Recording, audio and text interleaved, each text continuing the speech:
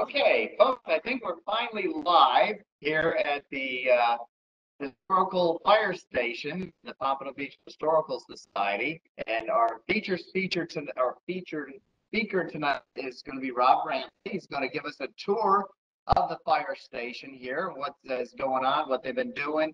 We actually have one of the first fire trucks out in the rain out there that he's probably not happy about, but nevertheless, I'm going to turn it sorry we're a little bit late. We had to kind of get this virtual Zoom stuff all up and going. So hopefully you're out there, you're listening.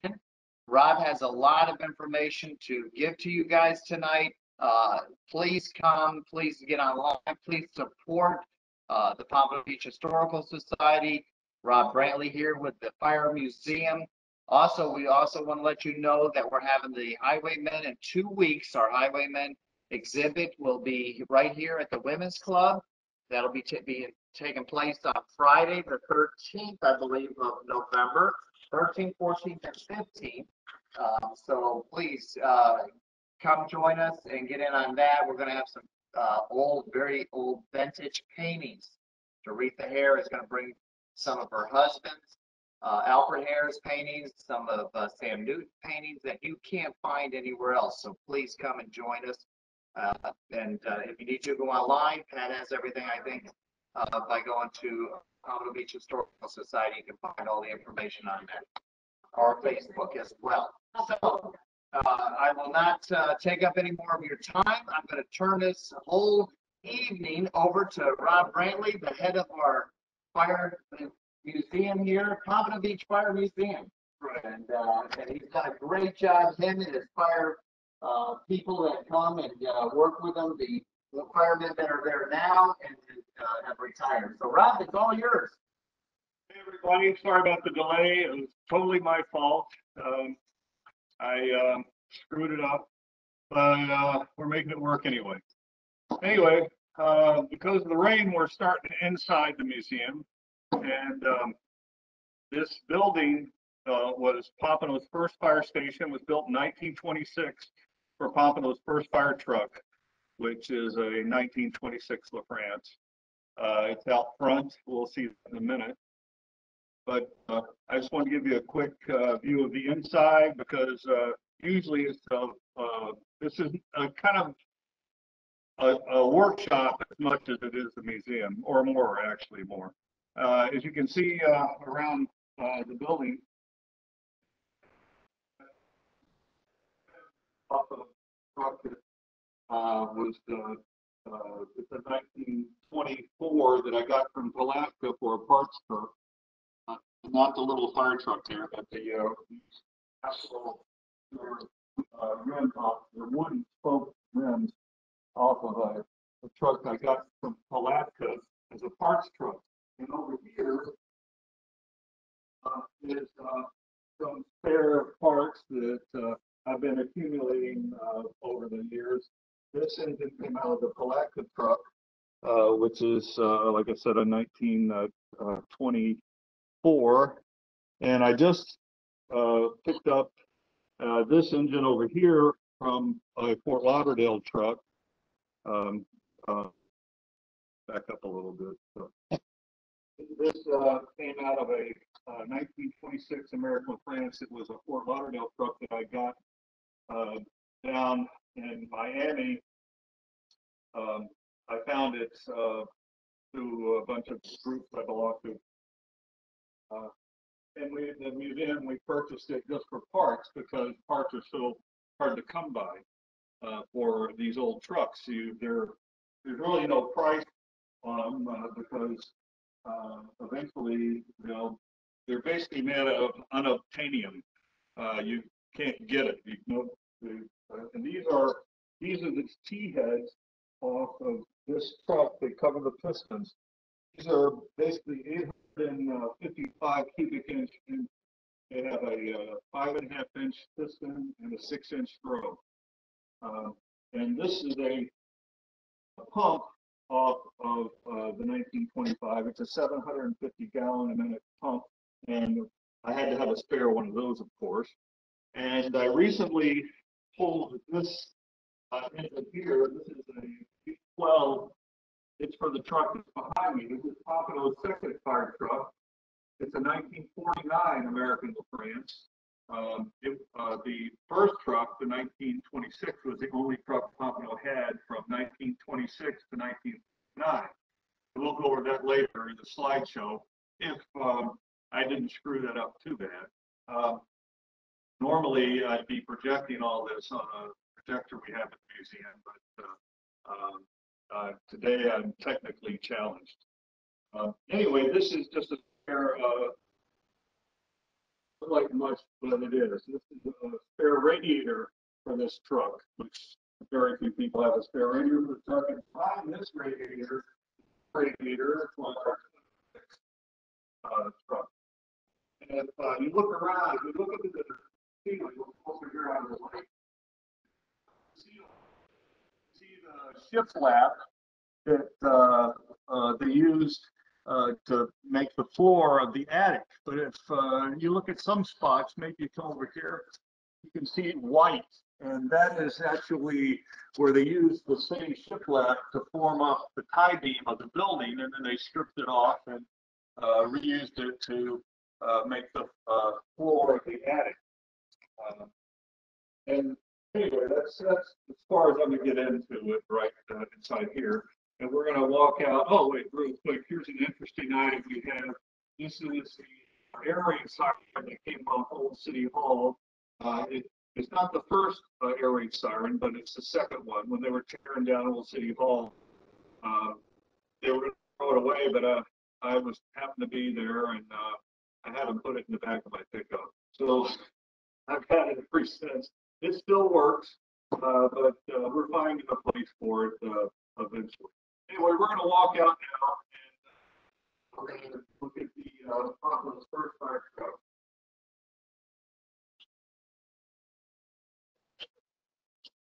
So, It's, as you can but, uh, you can leave it on. so I'm just gonna show it. This is, uh, all covered up now, but this is Pompano's first fire truck, and here's the engines I showed you inside. Here's what they're supposed to kind of look like when they're together. Uh, this one's a little dirty. We're about to take this one apart in a few months and uh, go through it. That's why I have all the spare parts. so let's go around this way so we don't lose the Wi-Fi.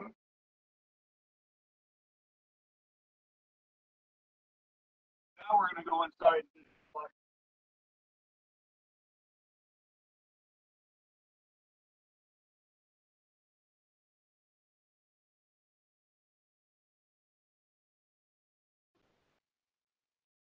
All right, we're starting over again. Here we go. Welcome to the Pompano Fire Museum. This is a nice. All right, uh, this is, uh, Pompano's first fire truck. Uh, like I repeated three or four times, it's a nineteen twenty-six American LaFrance. It's, um, was the only fire truck Pompano had from nineteen twenty-six to nineteen forty-nine. The building behind it, which we were in earlier, if y'all can still remember that long ago, um, was, um, uh, built for this truck. It arrived, I believe, uh, July 22nd, I, I think it was. Anyway, it was before the uh, Miami hurricane uh, drug its way through Pompano and knocked everything down. Um, Next slide.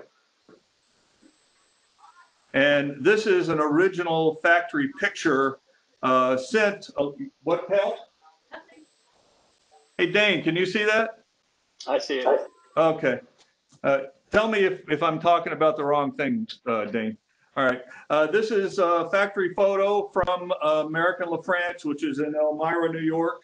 Um, It was sent along with um, the uh, truck when it came down here, along with uh, another person who uh, taught two drivers how to um, uh, operate the truck, the pump and all the maintenance things. He was here a week or so. Uh, we have, uh, lots of that documentation. I actually, we use this picture to reconstruct the truck because it was in, uh, pretty tough shape when we, um, uh, got it built. All right, we only have two or three pictures from nineteen twenty-six, uh, when the truck was brand new, and this is one of them. I actually have these people's names but because I'm not prepared, and which is very unusual, um, uh, these are uh, Minnie, Mo, and Jack. No, those were the muffler guys. But um, no, these were, um, uh, as you can see, this guy apparently was a firefighter. You, you can't see me pointing. I'm pointing if nobody's watching. Um, anyway, this is inside the fire museum or the first fire station, which is the museum now. And the reason why it looks so small is because there was a wall built down the middle and the fire chief and his family lived on the other side of that wall. And it was also later on became uh, a bunkhouse for uh, uh, firefighters and the, uh, the front part of it was an office for the chief. And next. And uh, this is me on about, no, wait, uh, that's um, sometime um, in the 40s uh, from what I got down to, but you can see this, uh, I'm still trying to point. If you look uh, and see the windows, that was the one bay that was boarded up and where the uh, fire chief and his family lived. Next. Uh, This is just um, uh, some old geezer. I mean, he was a former fire chief. He dropped by. And if you notice in this picture, uh, go to the next slide. Uh, If you notice, you probably noticed that the truck was missing a few things. Uh, Well, back in 1939, that's as far as I can reach. Uh, Next picture. The truck uh, rolled uh, going to a fire on uh, Northwest Third and Third.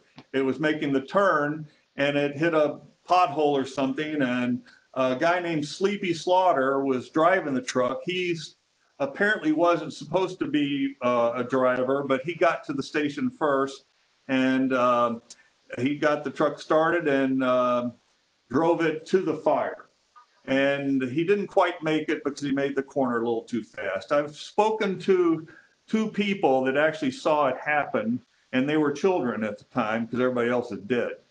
But um, uh, they both described it similarly, and it was during the day.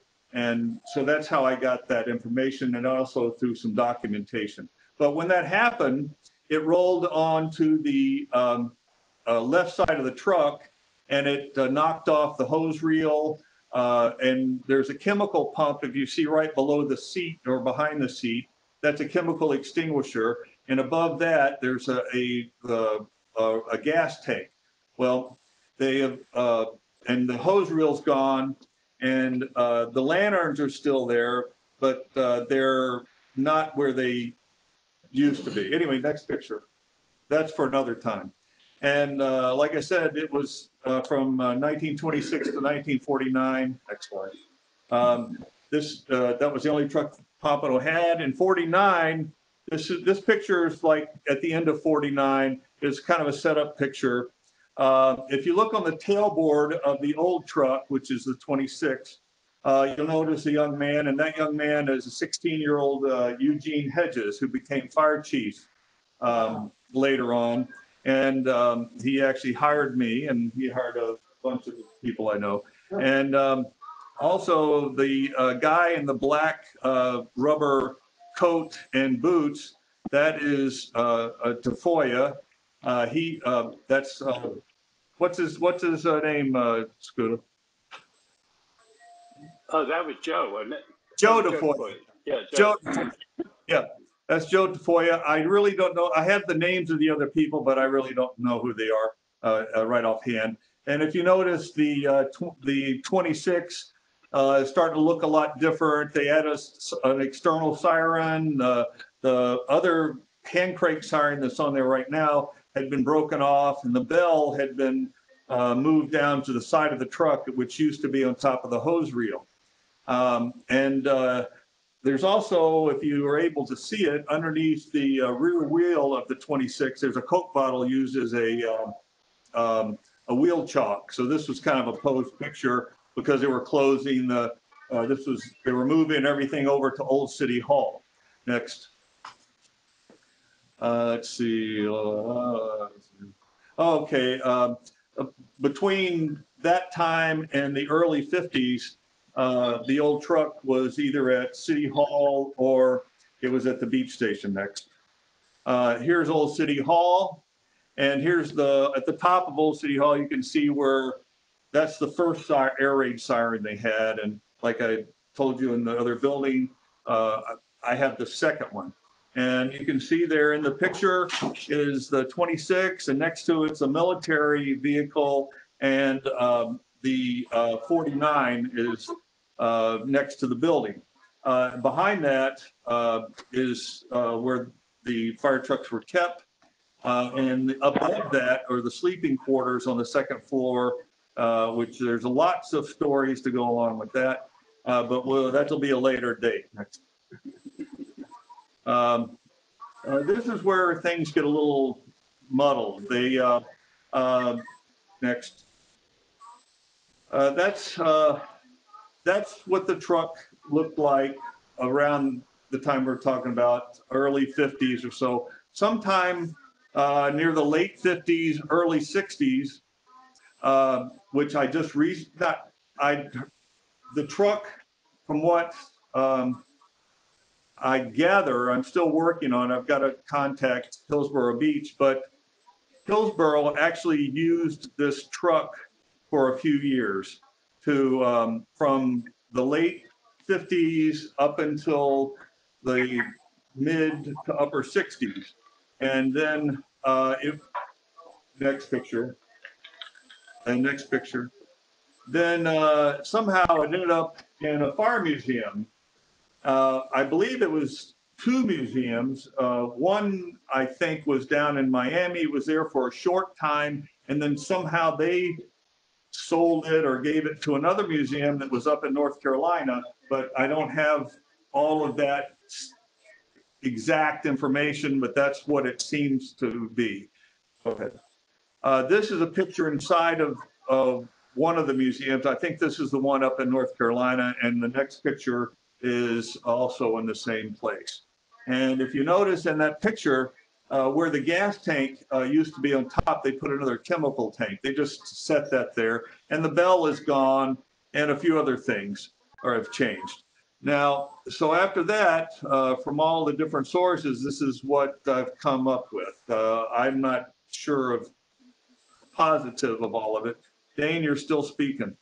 Um, now, this, after it, uh, after it, uh, left the museum, or Pompano somehow found out that the truck was not where it's supposed to be. Apparently, they sent a truck up to North Carolina, retrieved the truck, then they brought it back, and I saw it in 1969 myself at the beach station facing south in the southeast bay with four flat tires. And then all of a sudden it disappeared, and I heard that it was auctioned off. I called Chief Hedges about that, and he vaguely remembered something to do with that. Well, it was auctioned off to a guy named Phil, Phil Baumgarten. And it was never really lost because um, Dane, uh, uh, oh, it's Bob, Bob Bush. Bob Bush was friends. He was a fire, uh, fire captain or fire lieutenant or something. What was he, Dane? Captain. Captain, Captain Bush, uh, knew Phil, uh, uh, uh, Baumgarten well. And, um, uh, so they, he knew the truck was there and other people did too. Um, but there's another story that kind of goes along with it, but we're we're eating up time here. But the truck basically sat outside the warehouse down in Fort Lauderdale that Phil owned out in the open. And you saw the picture from before, if you want to, go to the next picture. That's what it looked like when it arrived at Phil Baumgarten's warehouse and then go again.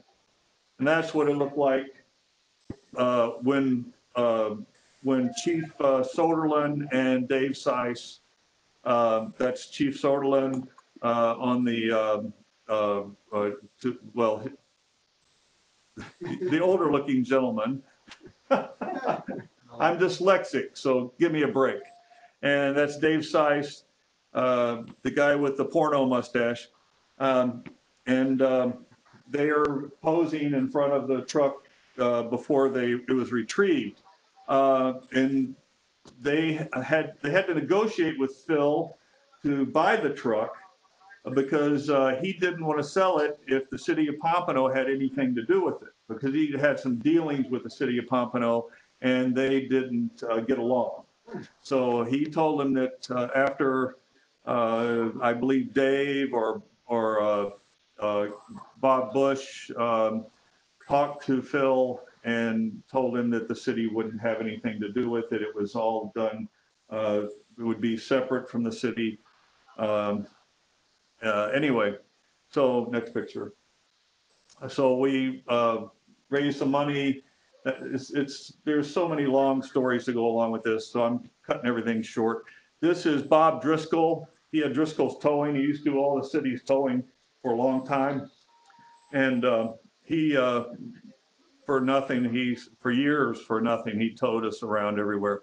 But he's retrieving the truck. He's right there. They're removing part of a, some sort of tree that was growing up in it. Uh, Next. And I got a, uh, we got ex- some experts, uh, you double clicked on me, so you screwed that up. Uh, No, the other way. So we got some, uh, go, just click, get it, the, I, my joke's ruined, go ahead. All right, here's, uh, um, uh, here's the truck with its first, when we first started taking it apart. I say we, um, I was not much of a part of that at all because uh, I hadn't been on the department long enough uh, uh, to know where the, um, uh, as they say, where the crappers were. So um, um, anyway, um, uh, this, this next picture. This is some more, more pictures of the first restoration. Uh, uh, You can notice the bronze pump and uh, the rest of it. Keep going. This is the first restoration. If you notice that the, the bell is still on the side, um, the chemical tank is there, but no, there's no plumbing. The chemical tank was actually, had been used as a, as a fuel tank um, at one time because the uh, other uh, tank had rusted out. The hose reel that's in the back is off of a, uh, a spray truck, but it worked. And you notice there's no lanterns on the back. But it was a, it- they did a, a really decent uh, job of getting rid of the rust and, and saving the truck. Next. Um, This is uh, Pompano's second uh, truck. Uh, You saw it inside the building, but this is just a the damn good picture. I thought you'd like to see it. Um, I actually had the uh, honor and privilege of riding the tailboard of this truck uh, up till, uh, to a few fires uh, um, for a couple of years. They retired it, I believe, was, when they retired, Dane, in 83 or 82? Yeah, but I think they put it back in service again for a while. Oh, yeah, yeah, yeah. I, I have, I've been hitting the head a lot. Anyway, I'd eventually retired and, uh, uh, uh, by then we had, uh, uh, acquired the museum. Next picture, please. Uh, so, uh, we, we, um, we needed to, we knew that the, uh, building was, uh, the original fire station was still, uh, owned by Pompano and hadn't been knocked down yet uh, like so many other historic buildings in Pompano. Next. Uh, This is um, uh, a picture of us uh, starting to uh, do the demolition. Uh, Recreation had, uh, was using the building for a long time. Uh, I talked to several people in the fifth, from, in the 50s that were, you know, Little League and stuff like that, where they kept all their equipment there. And if you notice in the back on this, to the, left side of the picture, that's the pump house. And the reason you can see the pump house is because the fire museum or the fire, first fire station was a freestanding building. The building I'm standing in right now wasn't built yet. Uh, so this is us hollowing the building out and getting rid of all the add-ons and stuff. Next picture. Um, and uh, the doors, as you can see, they were blocked in and filled with uh, concrete. Uh, next. And this is after, of course, you can see most of the demolition was done. And um, Uh, You can see where the wall was, uh, but right in the middle of the, uh, between the two doors where the wall was, it was built down the middle of the station to, for housing for the, uh, the fire chief and his family next. Uh, And this, of course, uh, the same time, just looking outside. uh, We, uh, they, we blocked up all the windows because if you noticed, uh, uh, you can see part of a chain link fence on one side, but they had removed most of the chain link around. And, uh, uh, you can see right through the park all the way to the church. There was nothing there. Uh, it was an empty uh, lot. There had been, uh, the first city water tower was, to the rear of the building to the south next. Uh, this is, after we, after a lot of, mostly volunteer, almost all volunteer uh, not, we weren't volunteer, but all, people from the Pompano Fire Department, uh, Fire Rescue had, uh, did, volunteered to do all the work, uh, to, uh, do the restoration of the building. And, uh, in, in uh, lieu of, uh, uh, getting, um, uh, uh, uh, uh, hazed by the older guys. Uh, so, uh, next picture.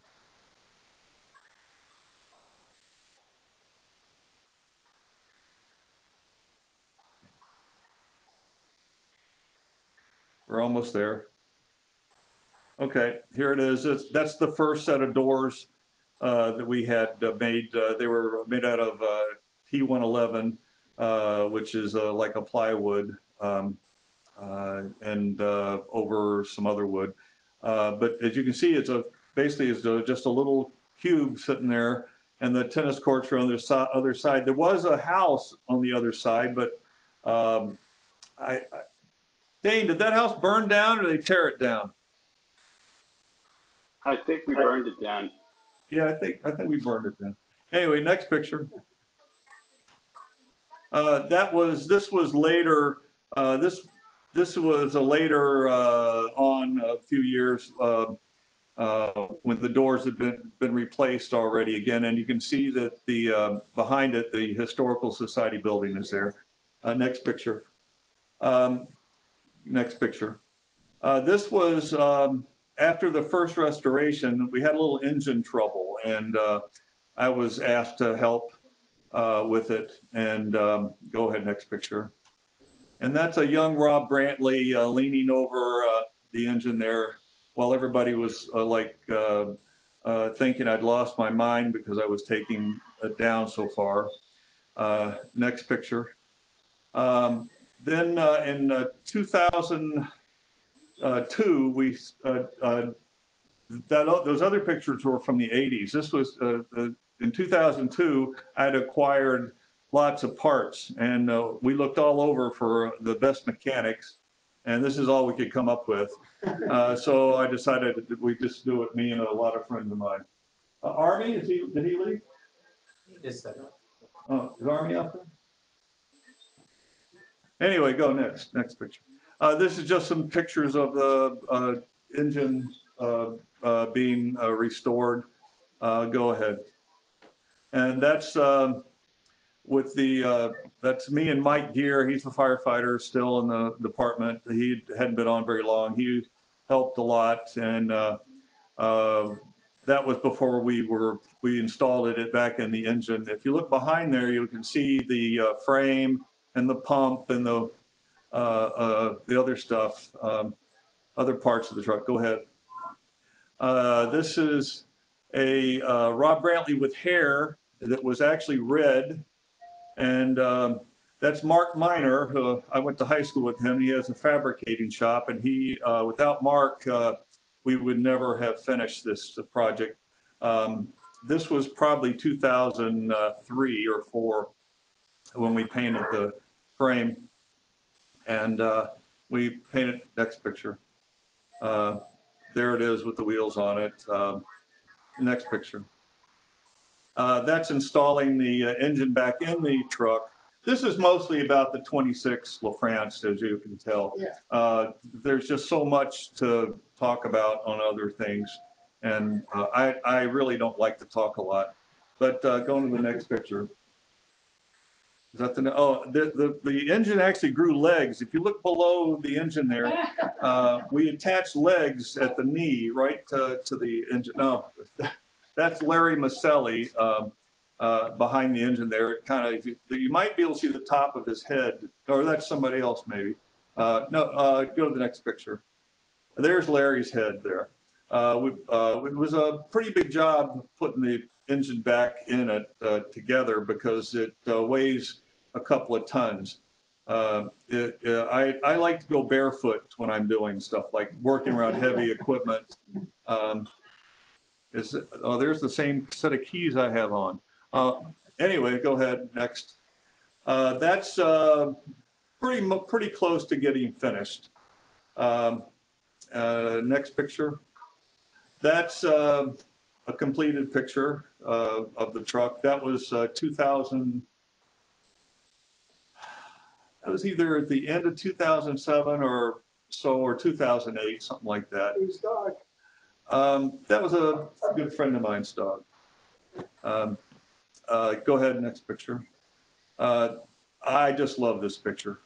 I was slim and trim, uh, still had red hair. My face, in fact, most of me is red, it looks like. But, uh, go on to the next picture. Uh, so just a, another picture of the, go ahead, next, next.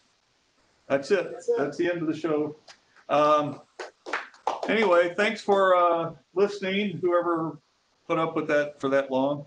And, uh, next time we'll go a little deeper into this. Um, bye. Well, thanks so much, Rob. Yeah, that's quite. Do we need to sign off? Wow. Do we need to sign up or? See you, Scuda. Thanks for your help. Okay, All right, folks, we thank you very much for uh, joining us. And Rob, you did a good job of explaining. I think I did a damn good job. You did a real good job uh, of explaining our fire museum, uh, our fire station, our first fire station here in Pompano. And Oh, oh, you know, I could do a question and answer thing, but we'll Yeah. save that for next time. Thank you. We'll see you later. But thank you for tuning in. And again, remember our Highwayman expedition there, that'll be in two weeks, thirteenth, the fourteenth and fifteenth of November. And uh, thank you folks for tuning in. So as far as Peter Williams, the president of the Pompano Beach Historical Society, Dave Brantley, that was your host. We thank Rob- you. Rob Brantley, Oh, I'm Dave, sorry, yes, yes, I like to call him Dave sometimes, but Rob Brantley. And uh, we thank you for tuning in and look forward to uh, seeing you at our next uh, You got it. program. So thank you, folks. Hope you enjoyed it. Bye-bye.